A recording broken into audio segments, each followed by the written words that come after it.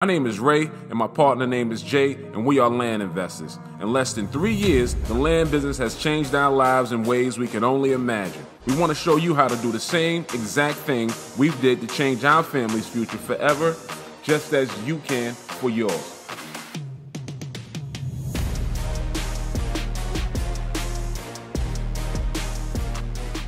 Welcome to Land and Legacy. My name is Jay. My name is Ray, and we are the Acre Boyzz. And today's topic that we're bringing today is what does it take to be a successful land investor? So, if I was just coming off of the top of my head and saying, what does it take to be successful? The first thing I'm going to go with is I'm going to say definitely you're going to have to be coachable. Because when people come from different places, and I'll take you, uh, I'll take you back and forth from another story that we had. Like everybody knows who's been following us for any point in time, we used to do uh, tax deeds a lot. That's how we first got our initiation into the actual land game. So what happened was, the guys that we were studying with under that time, they told us, have you ever done any tax deed investing before? And we said, no. He said, I'm glad you said that. And I said, why did you say that? He said, let me tell you why I'm glad. I'm glad that you said that because it's hard for you to unlearn bad habits. I'd rather teach you coming in fresh as opposed to bring, bringing some other things that you already had with you that probably don't work well. But being that you think they're, they're true going along that level, what happens is you're to bring those old experiences into something to a whole new different way of teaching. So that's one of the things that I would say off the top. Definitely, you're to have to be teachable. What else would you have to be? I would say you're to have to learn how to uh, follow direction. You're to have to do a couple of things as far as looking at maps, about uh, talking to sellers, understanding how to actual negotiate and a lot of different things like that. So when it comes to being successful, and this is just not in the land business, this is just in anything. When it comes to being successful, be a student first. And I think that's something that we've uh, become really good at. You know, we even still seek mentorship to this day for people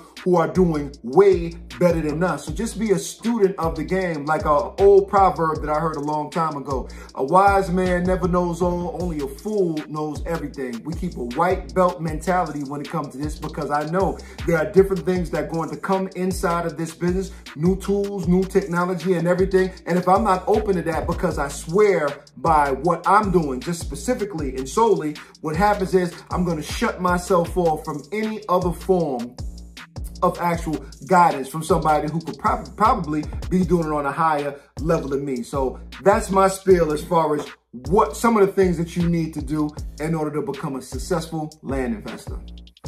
Um, to become a successful land investor, I would say, uh, you know, it's many vehicles, right? Um, we're just using a vehicle that's labeled land, land investor. Um, everything works if you work it. We're doing land. Uh, I would say dive in quickly, get an education on the space. That would be the, my my the, probably the best thing that I would recommend is that get an education on the space before you start investing a whole lot of money. Maybe you want to start slow, investing a little bit of money, and uh, maybe making a little bit of money as you're learning. And then once you feel more comfortable and you have the lingo, right? Because words mean something, right? Once you know these definitions, uh, it makes you feel a little more comfortable too once you know the same definitions as the people that you're buying from or selling to. You feel like um, I'm able to do well in this space once you understand the different terminologies, right? Because terminologies and words, they give you an understanding. You have an understanding, you're more comfortable in the further you can invest, or you should feel more comfortable to invest at that point once you have an understanding. So I think that's the biggest thing that I would say is just get an education uh, of the space. When we first got started, uh, we were only buying for 50 dollars a pop, so it wasn't like a big risk that we were taking as far as from a financial standpoint. Um, we we didn't mind gambling on 50 bucks as opposed to five thousand dollars a pop.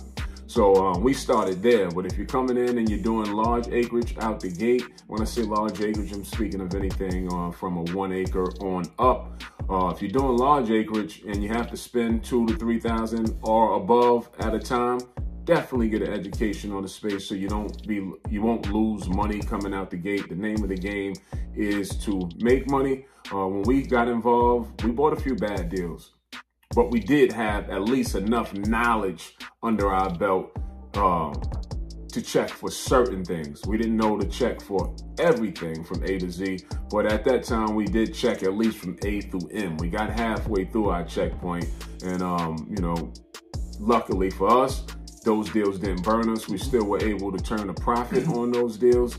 Um, and that's just from the early, the early stages of us, the learning and the teachings that we had learned mm -hmm. at that point. Um, same thing as Jay said, keep that white belt mentality. Don't think you, you ever know it all. Um, it's always some new things to learn. There's different aspects of the land game. It's not just about buying and selling.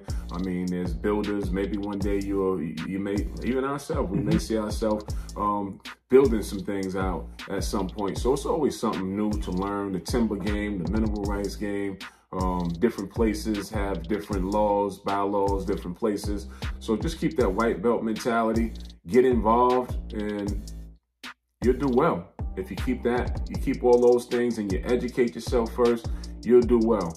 And as I always say, um, especially on this YouTube channel, I'm not trying to sell you here. I'm just trying to um, give you my experience. And if we can help some people along the way, that's great. Um, Get you get underneath somebody that you can train under, whether that's us or a different program. Get underneath somebody that you can train under that has some knowledge and that has done some things that you haven't done already, and uh, grow with them.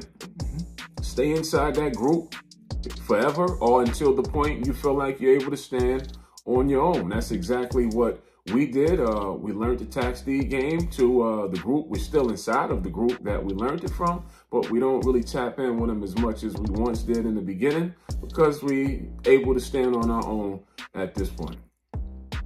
Yeah, so I think, uh, you know, with, with, all with all of that said, I think, you know, just everybody coming to a place and point in their life. Uh, we're coming to a, a, different time right now, which is all this artificial intelligence you hear everybody talking about. And our, our major thing to every one of every one of you that's listening out there, definitely, it's time for you to develop some new skills. Some new skills. We were just talking about yesterday. We were talking about, you know, what uh, the average employee is being taxed. You know what I mean? The average employee gets taxed 51%. 51%. So if you're making 60, you're really making closer to 30. If you're at 140, you know, you're slashing that in half, you're at closer to 70. So what are some different avenue and revenue streams that you can get into yourself that's going to be able uh, to allow you to generate a different kind of money? Like a lot of people don't even know as far as businesses are concerned. You see, when you're an employee, they take tax directly from you. You know, when you are self-employed or you're, you're employed by yourself or whatever the case may be, what happens is you get taxed on one left, what's left over. It's a big, big difference. You're getting all of your money and even you spending whatever you do inside of your business and personal things, those are all taken into account before you're, you even get taxed on what's left over. So, you know, my thing is just come into the new year with a new skill set and some different things that could change your life. And it may not be land. It could be stocks. It could be crypto. It could be Forex. It could be any other of these things. But just like my partner said, get involved with some people that are already doing it on a high level. Mimic and model their behavior. That's the cheat code success right there.